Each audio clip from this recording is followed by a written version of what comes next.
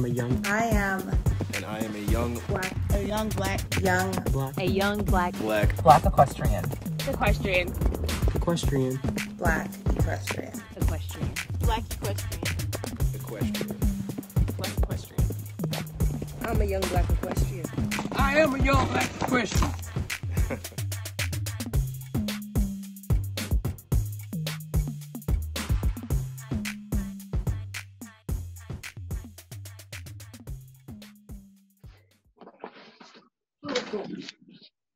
Had to come out to the horse trailer because the baby was crying. Oh, how old is he? Seven months. Okay.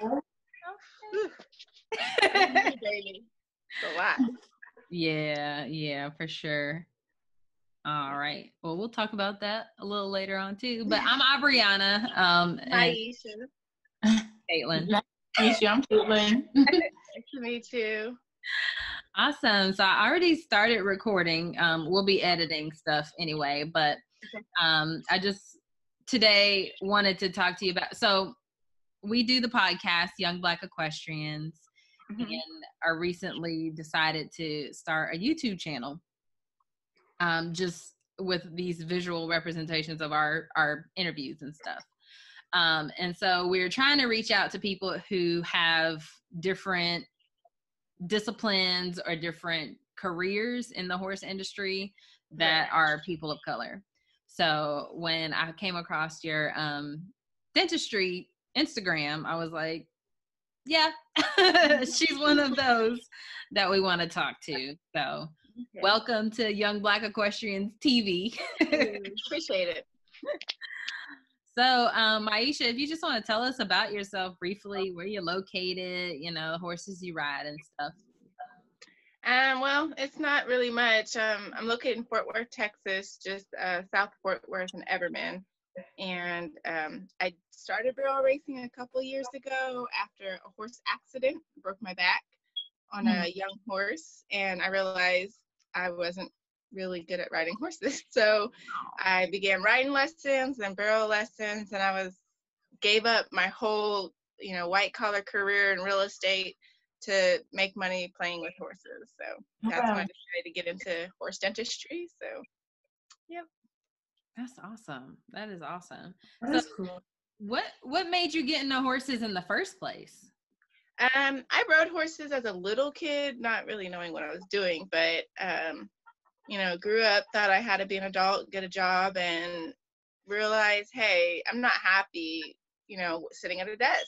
So went back to the horses, found my bliss, found my peace, and decided, hey, I need to figure out a way to make money helping horses and helping people. Mm. Yeah, that's awesome. Um, so just describe to us, let's talk a little bit about your your dentistry. Um what what does it entail? Like what do you have to do to become an equine dentist?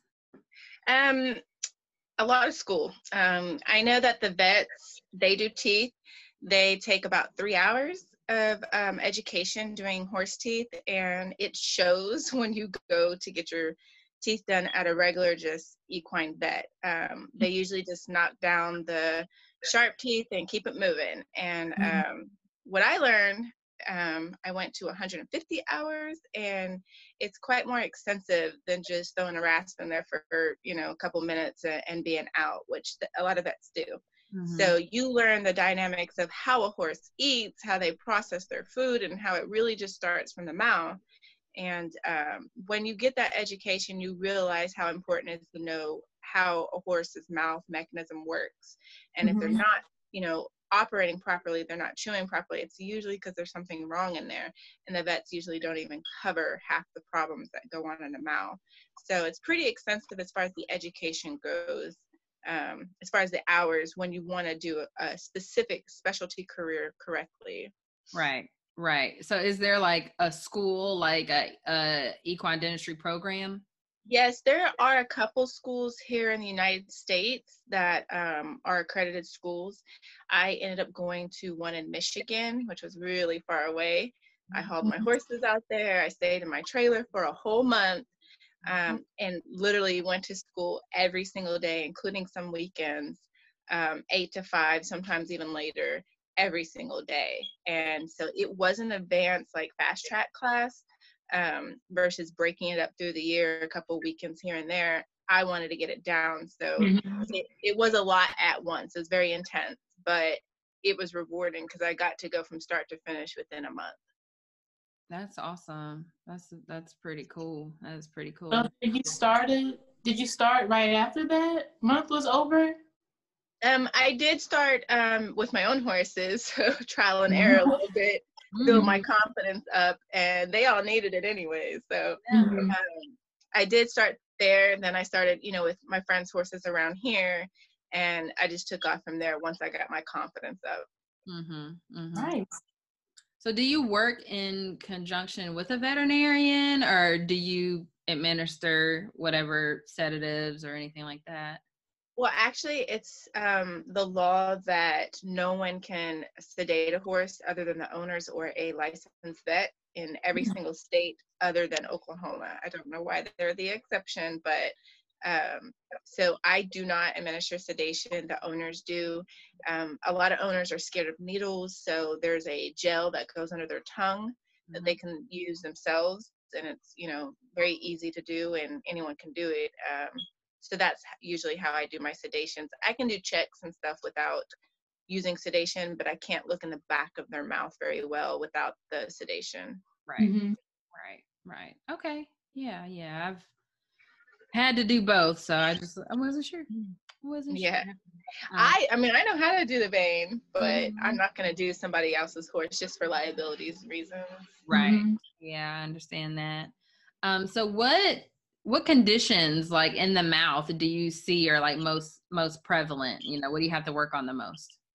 Um, well, the most common problem is usually sharp teeth. Uh, the cheek teeth is which is called the buccals, and the lingual teeth, which is alongside their tongue. Um, those are really, really sharp most of the time. But what I've been seeing, you know, the vet, that's what they knock down, those sharp teeth. But that's the problem. They only hit the, the linguals and the buccals, and there's really high ramps or really long hooks in the front or the back of the mouth, which um, um, impede in the horse chewing properly. So that's the biggest problem I see is maybe someone going in there and tinkering with the horse or someone going five years without doing any dental work. And now you have an excessive growth of a tooth in the front or the back of the mouth. And um, when it gets to the point where it's cutting the horse's mouth on the inside, they start losing weight.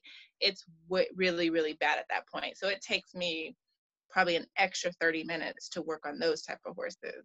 Mm-hmm. Mm-hmm. But How that's the worst thing I see. You said it takes an extra 30 minutes. How long does it take in general?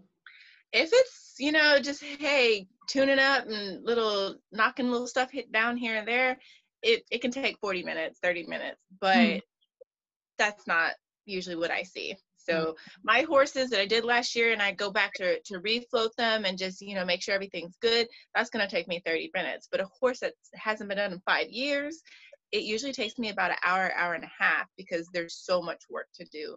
Right. Right. Wow.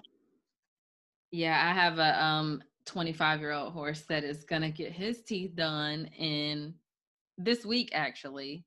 And I'm just not even ready. Like I am not ready for it because I know that he has not been done in so long. I'm just, I I don't know. I get a lot of surprises. I've seen 20 year old horses with mouths that look like they're 30. I've seen horses that are 30, their mouths look like they're 15. It just depends on the care that they've had routinely over the years. Mhm. Um, you know, 25, they start losing teeth at that point. So you really can't take down a whole, whole, whole lot. And you got to be very careful not to crack any of the teeth because they are overworn at that point. So you got to be really cautious with the older horses. But sometimes you'd be surprised they look pretty amazing in there. Mm. well, I hope so. One can only hope. Have either of y'all ever found like a horse tooth that has fallen out? Yeah, well, okay, so your horses that are young, under the age of three, they have their baby teeth that are falling out. And sometimes those baby teeth get stuck and they call it caps, and the adult tooth hasn't um, had a chance to properly come in because that cap is stuck.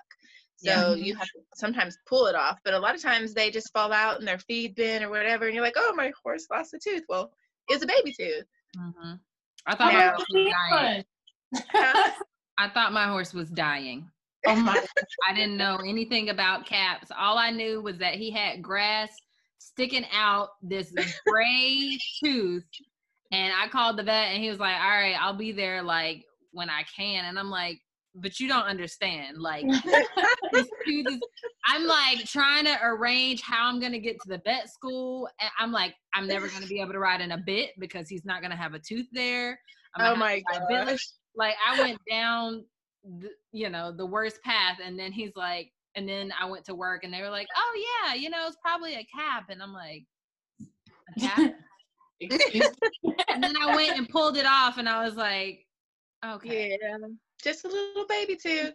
Now that can be a problem though, because sometimes they're they're on there tight and they don't come off, and they do um, rub on the opposing tooth, which can cause more wear than it needs to be because that baby tooth's not where it's supposed to be, which is out of the mouth.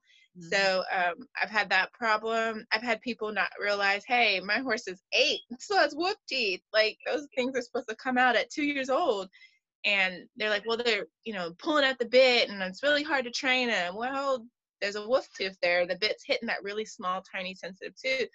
So Mhm. a lot of times it's just being uneducated and unintentional neglect, but that's why it's important to start getting your horse's teeth checked at 18 months. Like he may not need anything at 18 months, but just check it.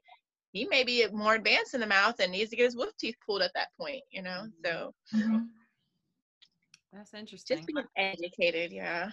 Yeah, because I yeah, I didn't know that either. My horse still has his wolf teeth, and he'll be he'll be eight this year. So. Ooh. Are you sure they're not canines? Well, he never had any pulled out, so I Some was- horses don't have them. Some Oh, horses have. I pulled a horse. Um, he only had one. mhm. So I pulled the one. Um, Mhm. some horses have four. It Mhm. just depends on the horse. Yeah, wow. I don't. I I know. I I mean, he has the canines on the sides, but Yeah. I haven't seen. I mean, I, it's not that I'm like up up in there all the time, but I don't. I, I honestly don't think he has them because He My might vet- not. My vet was like, you would you would know before now Yeah, if he. before now you would. yeah, so Mhm. maybe Yeah, not. they, they. If you don't see them by three, you're probably not gonna see them. Oh, well, good. Thanks, buddy. and it's, it's not that hard to pull them out, but they just become such an irritant when you're trying to train a horse. Mhm. um, they're just in the way. And then also when you're trying to train a horse and their teeth are sharp or or overgrown and you know they're like well they're pulling to one side and they're pulling to that side and they don't want me touching their cheek it's probably because there's something going on in there yeah, yeah. For So- sure. What are some signs that um, horse horse owners can look at um, when it comes to horses' teeth when eating? That's a good question. Um, there's a lot of signs. Um, most common, people say either my horse is dropping weight or dropping his feed. He's not eating at all, um, or he's pooping a lot of the whole grain out because Mhm. he's not chewing it properly. Those are quick, quick, easy signs. If you go to put on your bit and you brush against their cheek and you know they're ducking and it's sore, um, their cheek teeth might be um, really, really sharp. I had another guy um, he's like, "Hey, I think my horse needs a tooth pulled. Like, there's like swelling right going on on his cheek, and I just think, you know, the tooth's falling out." Um, it wasn't. It was very, very firmly in place, and there was a hole in the horse's cheek because the tooth was so long. It was um, created a gouge in his cheek, and it was infected, and Oh. it was really funky. So, awkward smells is another thing, another clue. Um, some horses have bad habits of salivating a lot and they create tartar buildup, especially on the canines, which is not good. It can rot a tooth out.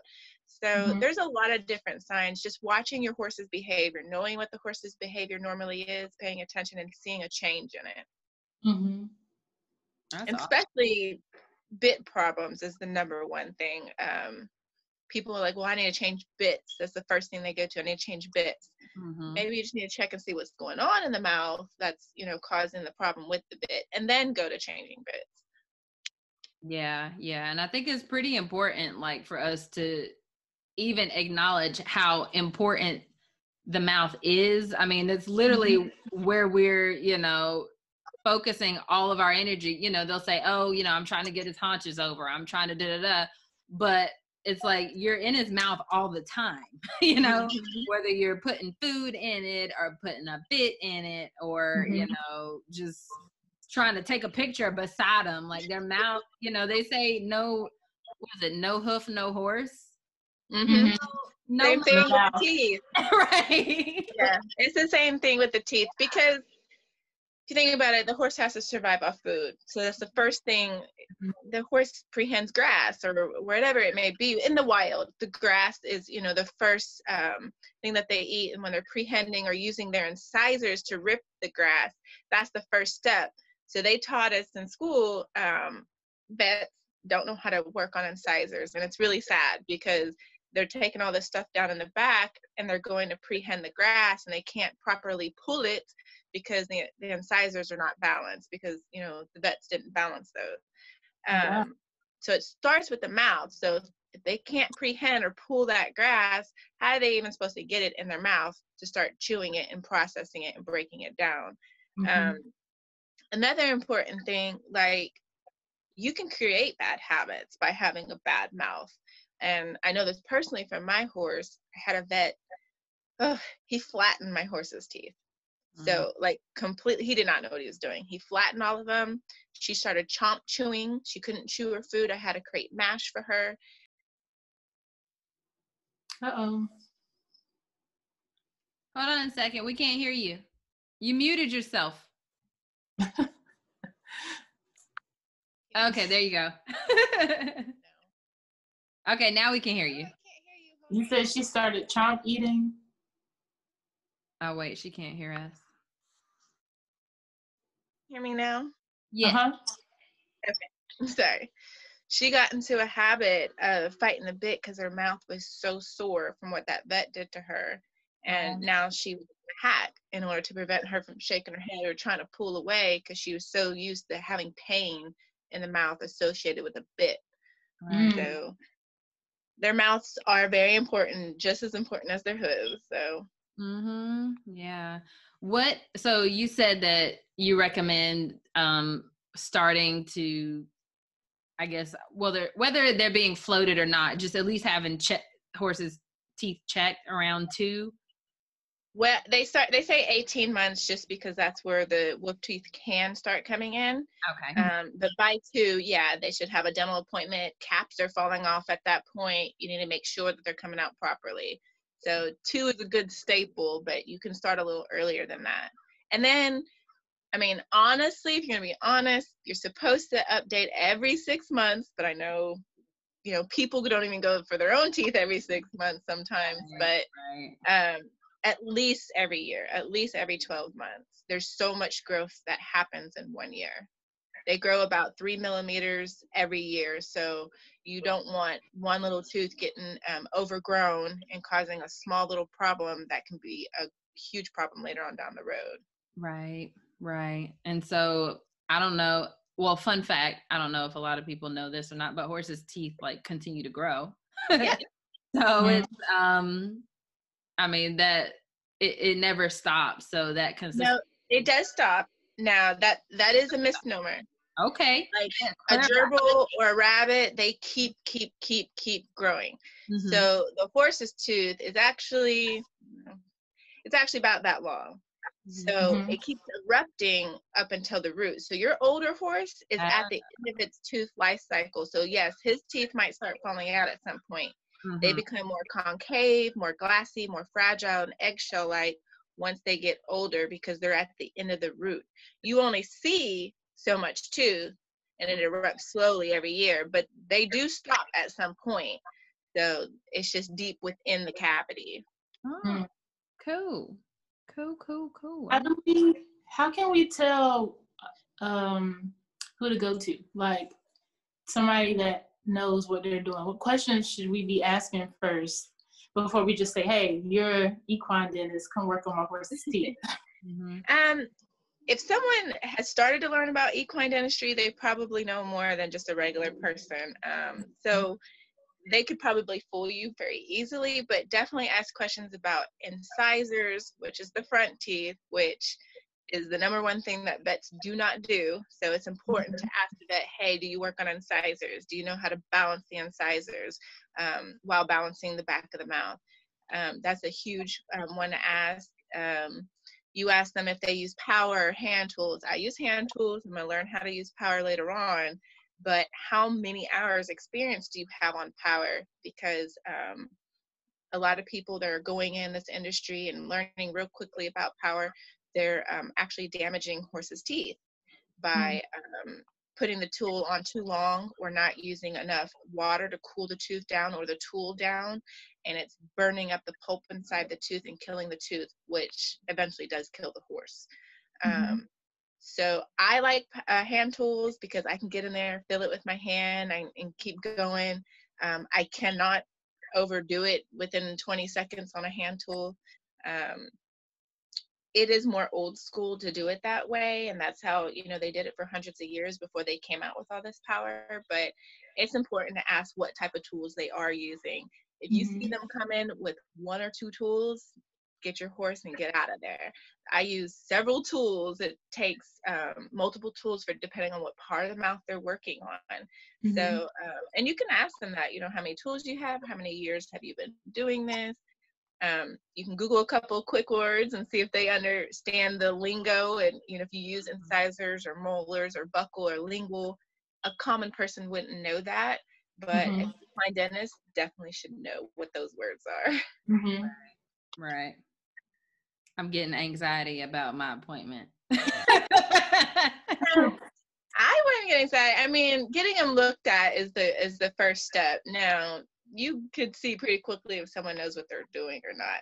And you know, every job's not perfect. I've had jobs where I started working on a horse and I had to stop because the sedation is wearing off, or there was too much work to do and I could not do everything in one cycle. Mhm. Um, point, uh, case in point, the guy that had the hole in his cheek, that tooth had grown so long that I was scared of opening up the pulp chamber. So I had to knock it down, come back in six weeks, knock it down some more, and then come back again in another six weeks to finish it out.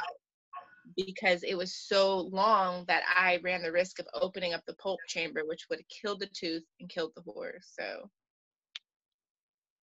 they're pretty sensitive animals. yeah, Mhm. they are. They are.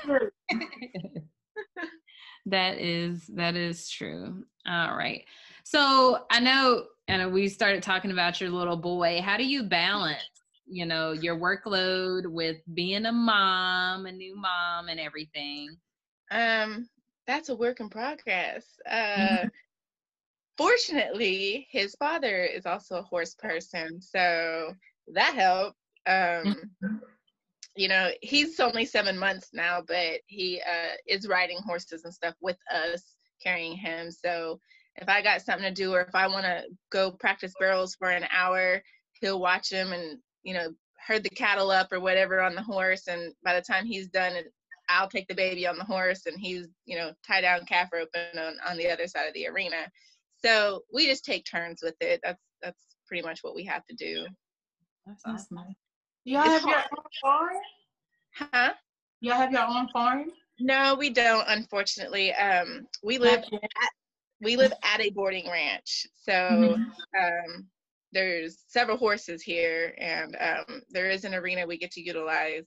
And he helps the landlord with calves, so he can practice on the calves anytime he wants to, since he helps them. Mm-hmm. It's different living in a in a public place versus a private facility, but yeah, there's lots of horses here, lots of clients in and out. Um, done training with kids. I prefer to train kids, not adults, but um, I do a little bit of that as well on the side. Kids just pick it up easier and listen and fearless. so- Yes. Yes. They haven't They developed bad habits yet. Yeah, and the, and the adults seem to you tell them what to do, but they're scared and and they forget and yeah. And it's like, I totally understand because I only do kids. I don't do adults. Yeah. But, I like it out here. Um, it's close to the city, and that's probably why why we haven't moved yet. It's um, accessible for people to find me, um, and I don't have to go to so many farms um, on out calls. But if I have to go to their farm, that's fine. But I rather have them here.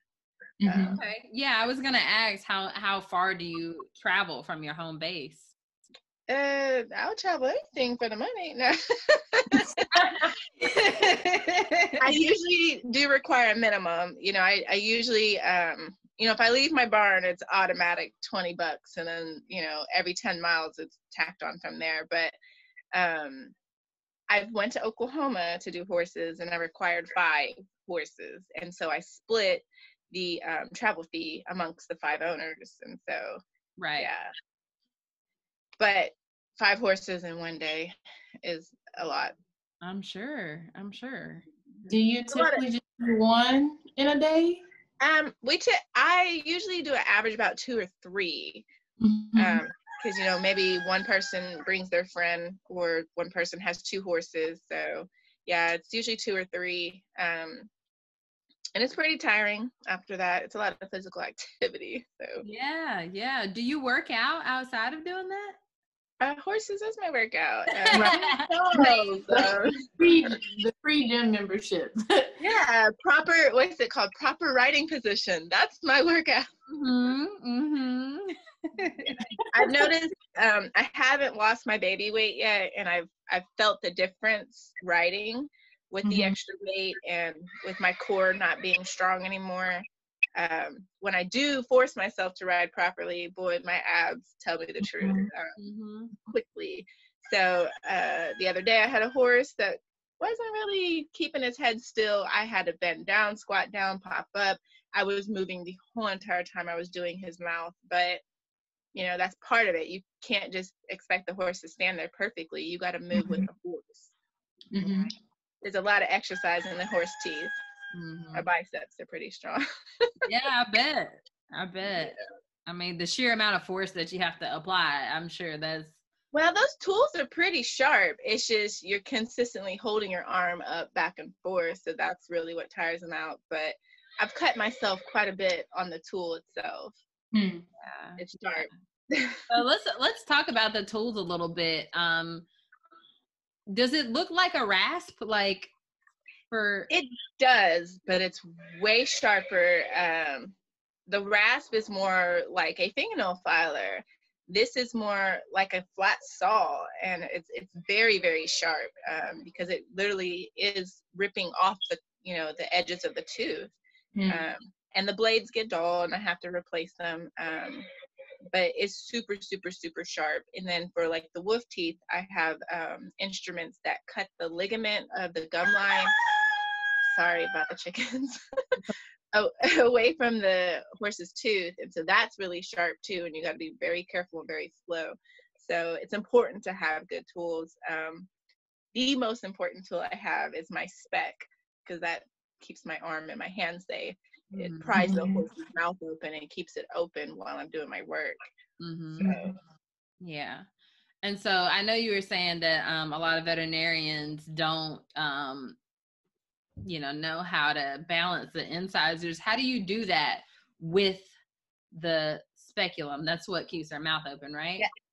I actually have a gag for that, and you can buy them online, but I made my own. And um, it literally is just a really big round rubber tube, and it goes in their mouth like a bit would, but it keeps their mouth open to where I can work on their incisors Mhm. and um, not worry about them chomping down. They prefer the gag over the spec because the spec Mhm. really puts pressure on their jaws, but um, I work on the incisors last because by that time my drugs are kind of wearing off. The incisors seem to have more nerve endings and it wakes them up even more. So I wait to do the incisors to the very end. Mhm. Mhm. That's cool. How do you everything- sanitize? Huh? How do you sanitize the tools? Um, I use soap and water, Dawn soap and water, Mhm. honestly. But the stainless steel stuff, um, anything that you know, like my wolf teeth pullers, where it's a lot of blood, um, I use chlorhexidine, and I mix Mhm. it with water. It's concentrated. I mix it with water, but I also use that to rinse their mouth out. I don't know if you ever heard of chlorhexidine, but I mean, your dentist will give it to you if you have some oral infection or something going on. They'll give it to people too. So it's just um, a more concentrated form for the horses. So it's just a mouthwash pretty much. Huh? I said, oh, okay. Yeah. And you can buy it at the pet store or whatever, but Yeah. um, Yeah. yeah, it just rinses their mouth out, especially with the nicks and cuts they get when you're floating them. Um, just keeps it from infections. Mhm. Mhm. Yeah, we use um I, I I can't remember what percentage it is, but it's like we use it for surgery also um as, Yeah. as a surgical surgical scrub beforehand. So that is awesome. That is awesome. So in in being a young entrepreneur, what um advice do you have for people who would want to kind of go into the equine dentistry world or even just starting their own business? Um, you know what? I've had a lot of negativity. Um, I had a lot of people doubting me and downing me and saying that that's too advanced or it's too much or you're too old to learn that. And, you know, if it's your passion and your dream, go for it. I left a very successful real estate career to work with horses because it made me happy. It was my passion. And, you know, do what you love, do what makes you happy. And my vet, he um, started vet school at 35. Was he too old to go to vet school? Obviously not, because eight years later, he has his own practice now. So um, go after your dreams. Don't let anyone, you know, tell you you can't. But what I wish is I wish that I would have took more time to learn more basics and how much care horses do require. And I think I would have got on a better foot had I took those initial steps to learning really how to build a relationship with a horse. Mm-hmm. So, but go for it. Don't let no one hold you back. Yeah, yeah, Solid. that's great. Great advice. Great advice. So, anywho, well, Caitlin, do you got any, have any more questions? I do, and this question I always get when I, whenever I'm around kids and stuff, they always ask, "Can you brush your horse's teeth?" okay. That um was like a loaded question. Not really, but um I've known people to floss their horse's teeth.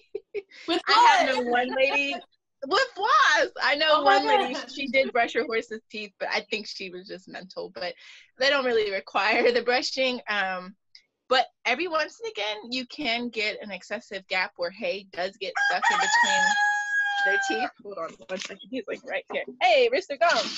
Hey. You know, Rooster.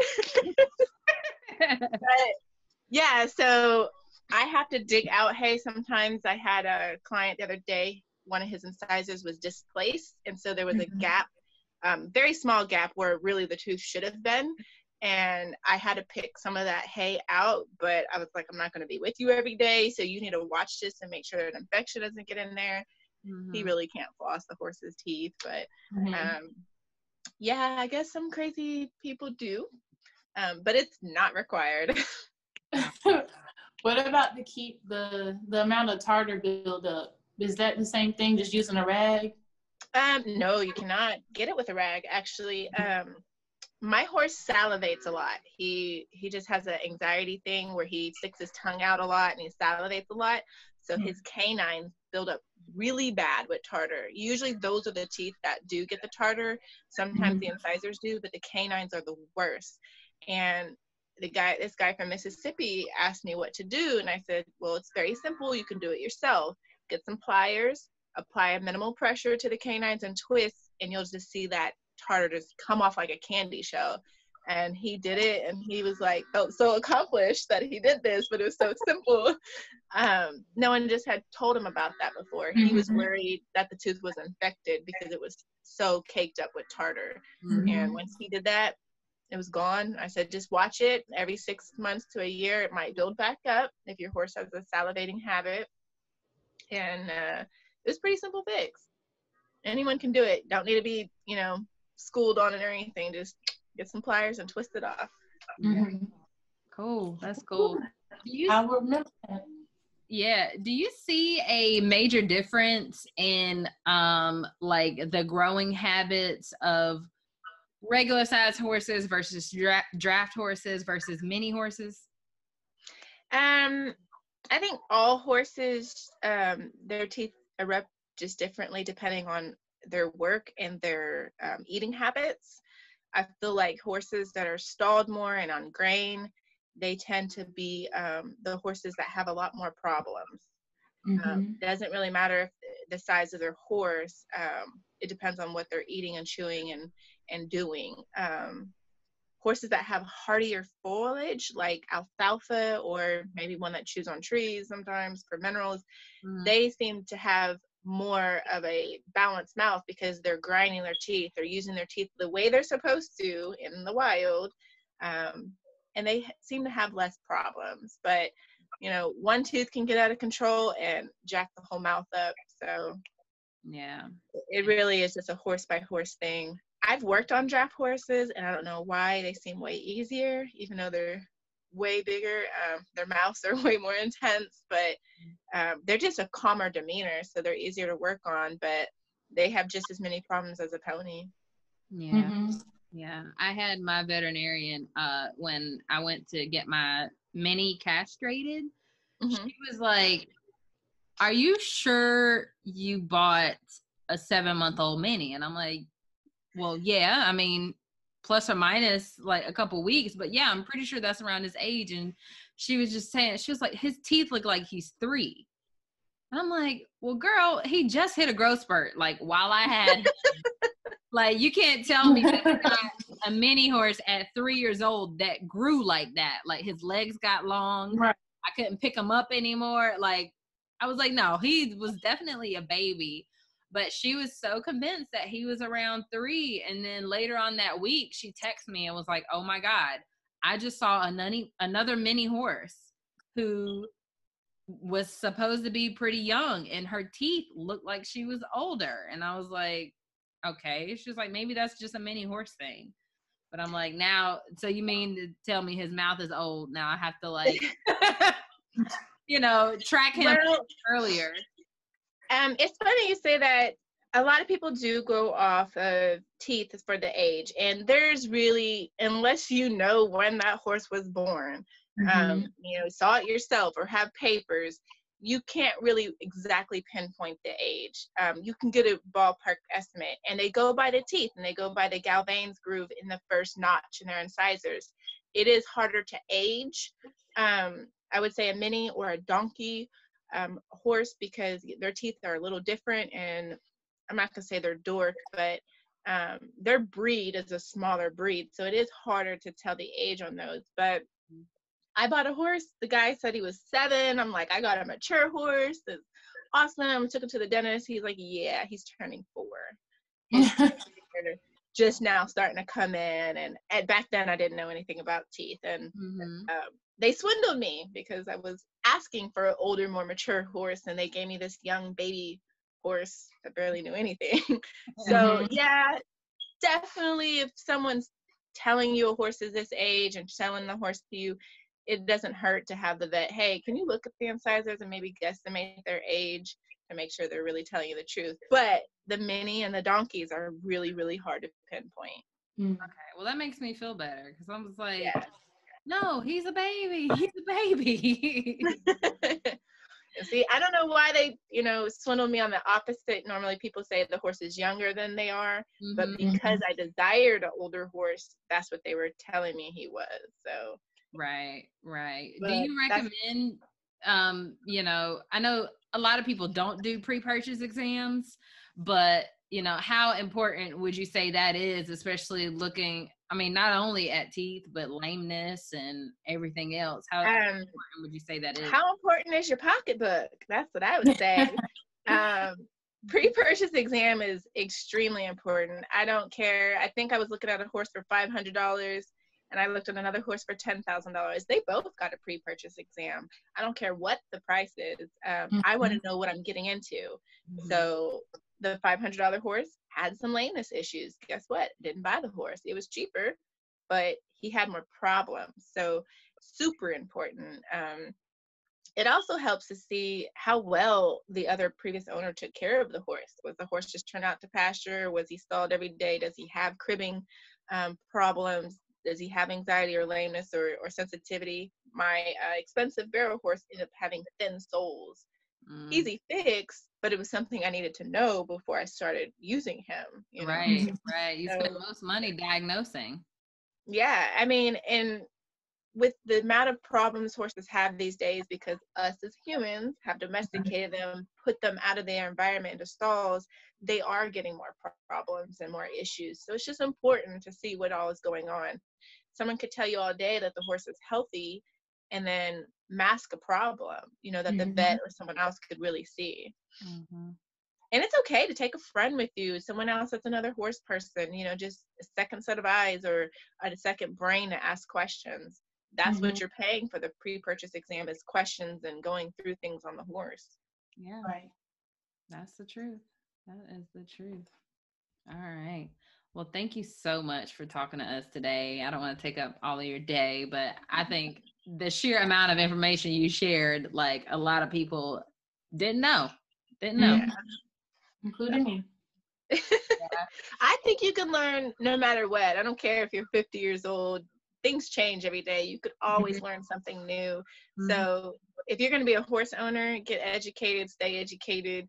You know, I always I love YouTube. I love looking up information. So it's great that you guys are making this podcast to help people learn more. Mhm. It's super important because the more you know about horses and how to take care of them, the better uh, life they'll have, and the more balanced life Mhm. you guys will have together as a as two partners. So Right. That is the truth. That's the truth. So shout out your your socials if you want people to follow you.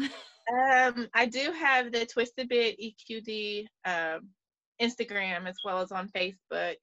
Um, I post a lot of funny stuff on Instagram because you know that's Instagram. But um, I'm always available to a- answer questions. You know, I like to have fun. I like to educate people. I like to help people, even if they're in Mississippi or any other state, and I can help them. I will. So Mhm. Awesome. Awesome. Well, thank you so much for talking to us today. You have a great day. I appreciate you guys too. You girls. You. Bye. Thank you for watching YBE TV. Be sure to subscribe to our YouTube channel so you can stay updated with our newest content. Please rate and review us on Apple Podcasts, Google Podcasts, and Spotify. We are on Instagram and Facebook. Our Instagram handle is at Young Black Equestrians TP. Remember to use hashtag Young Black Equestrians or hashtag YBE when making posts to social media. Tune in next week for another episode. Enjoy your week.